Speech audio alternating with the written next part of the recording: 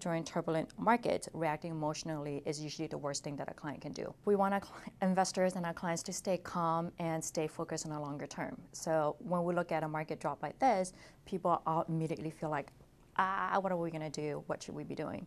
And our job as uh, advisors are really reaching out to clients and ask them to stay calm and just to keep the longer term pictures in mind. This type of up down cycles, the market is always moving. It goes up, it comes down, and but if we look keep the long term perspective, the market continues to stay in a positive trend if you're looking at you know a, a longer term perspective. As investors are worried about stocks, they start flocking, you know, taking a look at okay, should we are investing in gold because gold price has actually continues to go up, especially in this type of market condition. Don't take all your money and put it in gold because one of the things that could happen is that gold might be actually at a high right now, and when you do that, you're selling you know, load of all of your other asset classes and then buying at a high at goal.